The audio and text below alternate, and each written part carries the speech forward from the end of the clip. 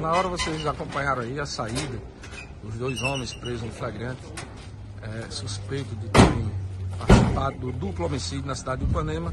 Vai ser agora, são, serão levados agora para o sistema prisional e agora estão à disposição da justiça.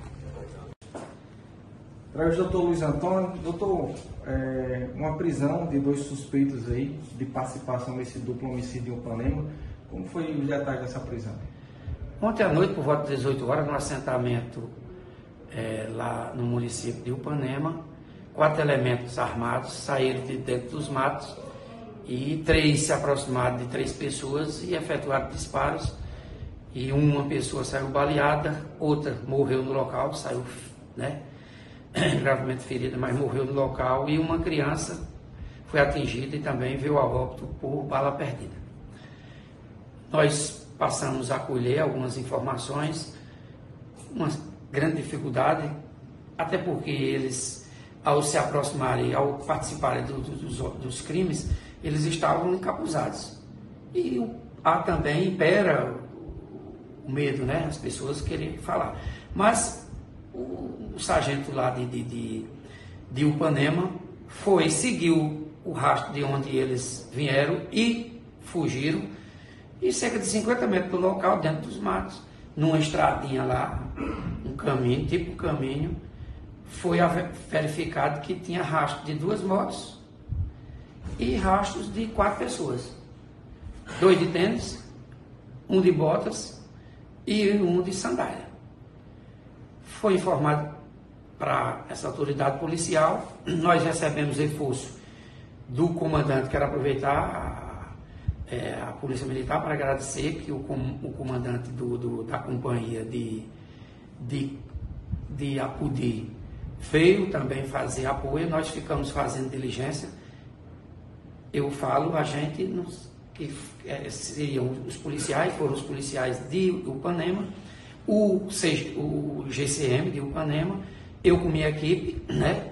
após o, a, o fazer a primeira perícia, a gente caiu em campo para ouvir pessoas, ouvir as outras vítimas em off, para tentar identificar a autoria. Fomos em alguns sítios e quando o Major Gomes vinha, deteve uma dupla. Coincidência, quando olhamos as fotos, bateu com o pneu da moto que eles estavam e os rastros, um de bota e outro de sandália. Os detalhes, principalmente, as botas tudo bem, poderia outra pessoa com a bota igual, mas a sandália não tem como. É, entendeu? Não tem como contestar, porque os detalhes dos buracos, de tudo, do, do, da, da, da sandália, batem, né? Com as tiradas e com os objetos recuperados, né? Pego, pego com ele recuperado, não, os objetos, as sandálias e as botas deles. Aí foram apreendidos logo isso, solicitei nova perícia ao ITEP, a outra equipe, que a primeira tinha se deslocado para a pendência, mas a outra equipe foi, fez a perícia. Essa semana eles se comprometeram de ainda fornecer a perícia, né? Que é importante demais, essas evidências são fortíssimas. E muitas contradições que os dois presos. A gente não conseguiu identificar os outros dois, né? das duas duplas, dos quatro elementos. Mas essa dupla aí, sem sombra de dúvida, eu, eu sei que realmente foram eles. Entendeu? Esses dois que a gente que eu lavrei flagrante. Eles negam, certo?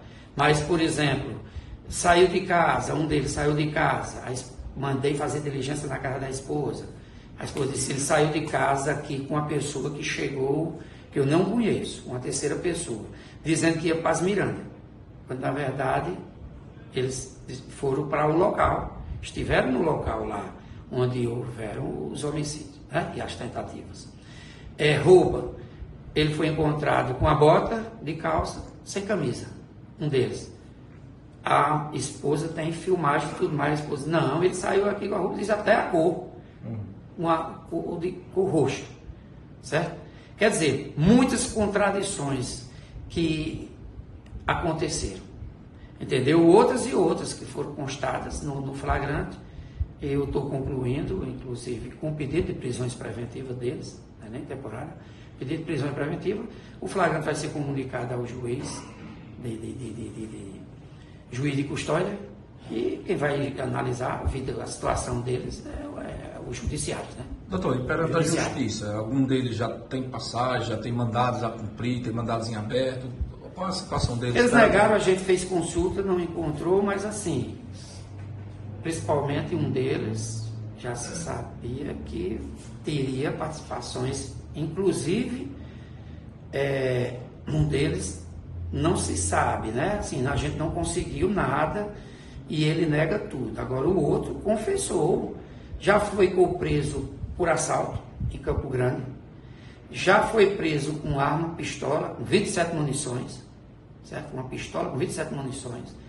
E é suspeito de fazer parte de uma quadrilha altamente perigosa que comete assaltos, principalmente, o forte deles é furto e principalmente assaltos na região que abrange Caraúbas, Campo Grande e Upanema e outras, né? E demais cidades, que é o Júnior Mangueira, que tem inúmeros mandados de prisões preventivas e um outro elemento, podendo ter sido esses elementos que, que inclusive participaram agora recente. Eu não sei se está com medo e ele nega tudo. Agora o outro confessou, já foi preso por assalto em Campo Grande, já foi preso com arma, pistola, com 27 munições, certo? Uma pistola com 27 munições. E é suspeito de fazer parte de uma quadrilha altamente perigosa que comete assaltos, principalmente, o forte deles é furto e principalmente assaltos na região que abrange Caraúbas, Campo Grande e Upanema e outras, né? E demais cidades, que é o Júnior Mangueira, que tem inúmeros mandados de prisões preventivas e um outro elemento, podendo ter sido esses elementos que, que inclusive participaram agora recente, eu não sei se está com um mês ou poucos meses, Houve um homicídio na saída do Panema para Campo Grande em um cabaré. O mesmo modo operante, a mesma forma de agir e o mesmo número de elementos. Quatro saíram encapuzados e atiraram, eu não sei as munições, mas de qualquer maneira, eu só sei o seguinte: é que foram encontrados cápsulas e, e, e projetos de ponto 40. Vou avisar, lógico, o delegado vai saber, eu vou saber dele também porque se no, nesse homicídio do cabaré é, for as mesmas munições quanto 40, já pode fazer comparação balística, que vai ver que saiu de uma mesma arma. Certo? Agora, um detalhe é que minutos antes deles atacarem, as duas vítimas, a que saiu ferida e a que morreu, eles tinham participado de uma disputa de jogo, de, de, de, de de pênaltis, né? Competição de pênaltis. E o que acontece? Eles tanto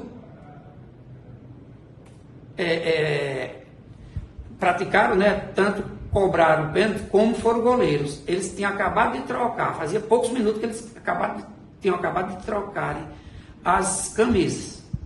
Aí não se sabe se iam matar a todas as vítimas, se iam matar uma só, eu só sei que a vítima que saiu ferida disse que um botou a arma na cabeça, no rosto dele. Um atirou, virou e atirou no outro. Eu acho que não conhecia bem as vítimas, porque lá é uma foi uma execução. Apesar de que a vítima, a criança de 4 anos que, que, que foi atingida por uma bala perdida, entendeu? Isso aí foi casual, não foi, né? Não, não, não tinha nada a ver. Uma coisa, estava no local errado, no momento errado. Mas aí, é, é, pelo menos, eles foram para matar uma dessas três pessoas que estariam bebendo. Estavam participando do jogo e vinham e ficavam bebendo. E eles aposentaram quando estava anoitecendo, eles foram lá e a vítima sofreu seis disparos. Cinco de pistola .40 e um a queima-roupa nas partes íntimas da vítima. É isso que a gente que a polícia vai, o delegado de, de Upanema, vai aprofundar para saber se essa execução tem conotação com algum crime sexual. Doutor, Porque possivelmente um calibre 12. E para a gente finalizar, é, pelos, pelos, quais artigos eles foram autuados? É, no caso, 121, tanto consumado quanto tentado, triplamente qualificado, porque ele saiu da forma que saiu lá, foi uma emboscada. Eles ficaram por trás de um local lá, de uma cerca, e as vítimas, quando vieram do, do, do, dos pênaltis lá, que bateram os pênaltis, né, que, e tal, tal, e que voltaram para beber, eles já chegaram e atiraram. E motivo furto, motivo torpe, formação de quadrilha, porque quatro elementos praticaram crimes, e porte ilegal de arma de fogo, de uso permitido.